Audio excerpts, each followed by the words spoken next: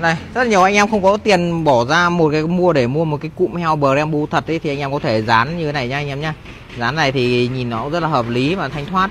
Và thứ hai đấy chi phí nó cũng rất là hợp lý. Đây anh em dán như này. Đấy nhìn lên thì con heo Brembo này nó rất là sang trọng xe nhá. Thì đây như chiếc xe này em đang lắp đây này. Đấy Honda Civic 2023 mà đây. Đây, lắp là cái cụm heo Brembo đây anh em thấy không ạ? Dòng này thì là dòng bắt ốc nha anh em nhé đây, tất cả chi tiết đều là bắt ốc hết. Nên là đảm bảo cho anh em là không, anh em sau này thích tháo ra vệ sinh hoặc là tháo ra bảo dưỡng cái cùm phanh, anh em tháo như bình thường. Đây là cái chi tiết à, còn đây là cái cùm phanh mà bên em đã lắp xong. Lên xe này, Brembo. Anh em, đây, đảm bảo cho anh em là chắc chắn nhá. Cái này là bắt ốc, không phải dán keo.